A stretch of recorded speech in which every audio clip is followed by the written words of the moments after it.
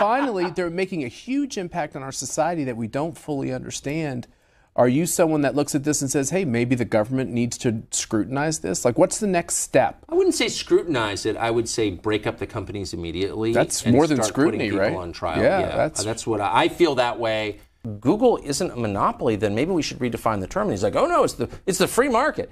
If you just throw the term free market at a conservative, it's like kryptonite to Superman. It's like, no, I'm melting. Stop free market. I'm not against that. It's like, I don't care about your. De- if this is a free, this is a free market. Google's a free market. No, it's not. Yeah. It's a totally creepy monopoly. I- Very thought provoking commentary from Tucker Carlson nearly two years ago. Welcome back, beautiful and amazing human beings. This is Luke Rudkowski of WeAreChange.org. And if you remember, watching this channel for over a decade now, all the way back since 2008, we have been warning you about big tech monopolies, and it definitely seems like today we have crossed the Rubicon and reached the point of no return, especially when it comes to big tech censorship. Many journalists, myself included, have a very tough decision to make right now, and it's not an easy one. We could either decide to report on the news, the facts, espouse our opinions on it, and risk utter destruction by the big tech monopolies for doing so, or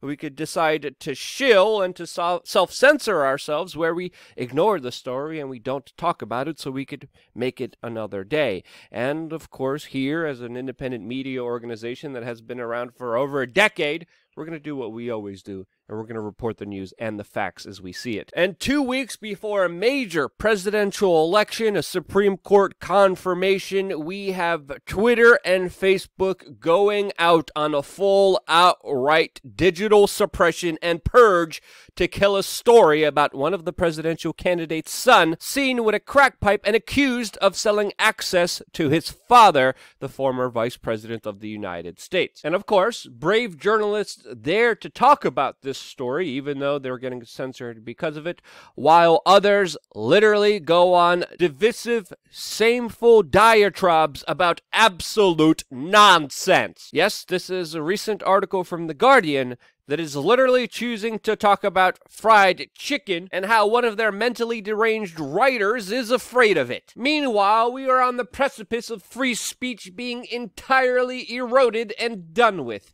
You would think you would have some priorities here, and sadly, some journalists are just absolutely shameful today. And again, before we even deep dive into the story, I can't tell you guys enough how important it is to sign up on our email list. Once you sign up on our email list, there is no middleman, there is no boundary, there is no algorithm, there is nothing standing in the way of me and you communicating one on one. Sign up on our email list. It is more important than ever. Also, because we are 100% demonetized, we have a t shirt store where you could still represent political ideas and not be censored. Yes, this is still one of the sure ways where you could send out a political message and it doesn't get destroyed by the big tech monopolies. We also made a special tribute shirt to the moment that we are all in right now, of course, paying homage to 1984. Brave New World and Fahrenheit 451. So, yeah, I would say that is fairly accurate of a depiction. If you enjoy what we are doing and want to support us and also get out important messages to the general public, check out our merchandise store where we have more than just shirts. And we also have a lot of creative expressions of our merchandise, which you could get in many forms. Now, I think it's very fair to say that the, what just happened within the last few moments absolutely or extremely way more powerful than any kind of Russian collusion meddling accusations that we've been hearing from the last four years. And it all started after a massive leak of private emails and photos from the vice president's son, Hunter Biden. And this man definitely looks like a troubled individual. There's a lot of frivolous details about his personal life that I don't think is worth getting into. Someone's personal life is their own personal life, and, and that's just my particular preference on this kind of reporting. But we also did find out a large number of emails that are very eye opening and contradictory to what we heard previously from the former vice president and now presidential candidate, Joe Biden. Those are issues that are far more important than, of course, some scandalous photos of the vice president's son. That really doesn't matter here. And any news surrounding this is being absolutely censored on Twitter and Facebook, even including big media organizations like the New York Post and their reporting on this actual issue, which is being absolutely outright banned on big tech media platforms. A lot of it you can't find, but you are seeing a lot of individuals being censored and even having their accounts restricted, locked down, or deleted for reporting on it. Now, Facebook and Twitter even admitted that it's reducing the distribution of this actual news story, and now is even going as far as to censor Congress and their hearings regarding this particular issue. Trump's presidential campaign was even locked by Twitter for reporting on this news. All the while, hashtag Eric Trump Ukraine scandal was trending on Twitter. Yes, a big bombshell story that contradicts a lot of the things that the former Vice President Joe Biden, now the presidential candidate, said before is being outright whitewashed and deleted from social media or outright lied about by other big media outlets like the Washington Post and other internet rags that are literally boldface lying about this issue with no facts, merits, or even evidence presented at all. And it definitely looks like the GOP and the New York Post are finally getting a treatment of what independent media has been going through for over a decade. We have to understand this is nothing new. The boiling frog analogy is perfect here because if we look at what's been happening here, it's always been independent media that's been getting screwed by big tech monopolies. And we were outright screaming about it, making as much noise about it as we could.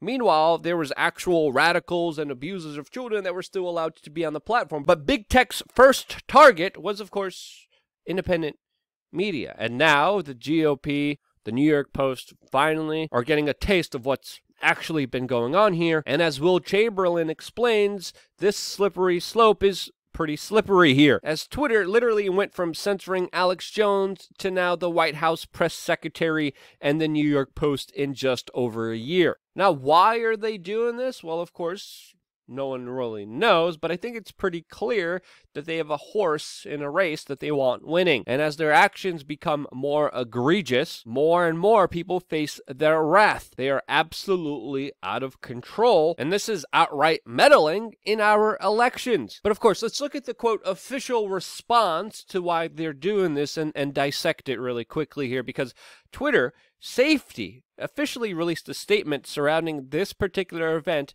and they said that they're doing this because the evidence, the emails, the photos, the news reporting of these photos, of these emails were, quote, illegally obtained. Yes, Twitter Safety released a statement that in 2008, they established a new policy that prohibits the use and distribution of content that was obtained without authorization. Yes, a very bland, generic, generalized statement meant, of course, to be arbitrarily used like it is right now. Of course, a lot of this stems from the 2016 WikiLeaks release. This is why in 2018 Twitter decided to change their policy, which of course helps them produce an electoral outcome that favors them. And for them to say that they're doing this because the information was obtained illegally is absolute bullcrap because when it's the first lady who has her conversation secretly leaked, when it's Donald Trump who has his tax returns secretly leaked, Twitter doesn't ban any of those articles. Twitter doesn't ban anyone tweeting about this. Twitter doesn't stop the URL from even being sent privately in messages. They don't go full outright Orwellian censorship on other aspects that were, quote, illegally obtained. And again, this is a backwards, asinine justification because it's not only filled with hypocrisy, but it's counterintuitive to what journalism is.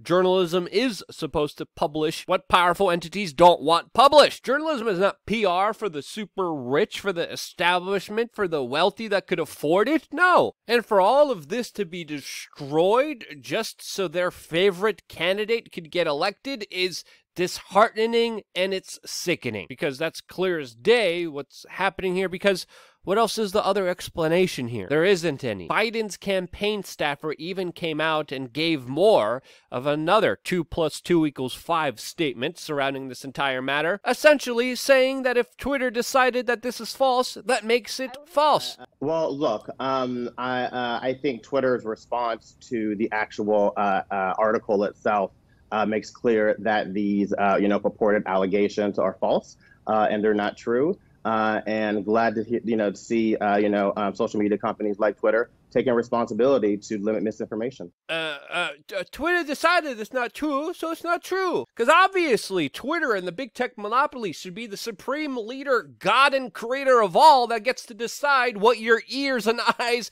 get to experience. Yes, you don't get to have discernment because Twitter decides the overall truth of everything. Because, you know, nothing could go wrong with billionaires deciding that. Yeah, sorry, this is a little bit ridiculous and it's kind of shameful to see this kind of Orwellian talk being espoused by the Biden campaign during such a critical time when so many important freedoms are on the line. And for this man to do this just shows you how much money actually corrupts an individual to do the most unimaginable, unspeakable things. Again, the page shills here are working overtime to try to muddy the waters of what's actually happening here. The story of how these emails and photos were found is quite intriguing to say the least. There's a lot of people screaming foul play. There's a lot of people screaming that this was a hack. Story of how this computer was actually found could potentially be true, but again, it's worth questioning everything in today's day and age. But it doesn't matter. How can people even know the truth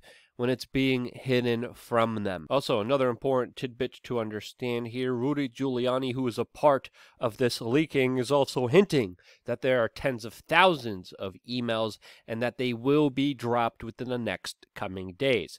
How will big tech monopolies respond to it will be very critically important to watch. But surely this is a moment where the Joe Biden campaign is being caught with its pants down. They are still doubling down on their lies, which there are now clear emails depicting a totally different picture. We had Joe Biden many times denying that his son's big time paying job at the Ukrainian energy company had anything to do with him, denied even meeting the heads of that energy company. And now there's emails to Hunter Biden from the head of those companies telling them thank you for meeting with his father, Joe Biden, according to the emails that were released. There's also this very damning video of Joe Biden bragging how he got a Ukrainian prosecutor fired who was investigating that particular energy company. I said, I'm telling you, you're not getting a billion dollars. I said, You're not getting a billion. I'm going to be leaving here. And I think it was, what, six hours? I looked, I said, I'm leaving in six hours. If the prosecutor's not fired, you're not getting the money. Well, son of a bitch. got fired. And and a larger question needs to be asked here with Joe Biden's son being, uh, let's just say, exposed to certain chemicals and not being in a right state of mind. What do you think is going to happen with information about his son that could be used by other foreign leaders? Again, a lot of implications, a lot of data, a lot of photos, a lot of emails that we should rightfully be able to look at, to investigate, and to make up our own minds. All of those things are worth thinking about and then discerning. There's a big element here that people are forgetting and they're totally missing, and that is the fact that human beings have the right to actually decide what is right for them by discernment. That's the big word here that a lot of people are missing here. We don't need a big daddy overlord deciding what words are harmful to us or if they hurt us. There's been a big agenda to push that kind of rationales, uh, immoral, ninifying kind of thinking, and it's ridiculous. It's one of the reasons why we've been calling it out here from the very beginning because they want to be your daddy. They want to be your overlord. They want to control every little aspect of your existence. And I refuse to do that. If you refuse as well, share this video and sign up on that email list. I, I can't I can't say this enough. It's more important than ever. Sign up on that email list. Send this to your friends, send this to your family members. Let them know that free speech is under attack and it could only be destroyed, it could only be ended if all of us allow it to be. We have powers in numbers. They wouldn't be censoring and destroying information if they weren't afraid of it. Your voices are more important than ever. It's one of the reasons why we're still here. And this is why love you guys. Stay tuned for hopefully hopefully we're here tomorrow. Um, yeah we'll, we'll, we'll see. Stay tuned for more here on wearechange.org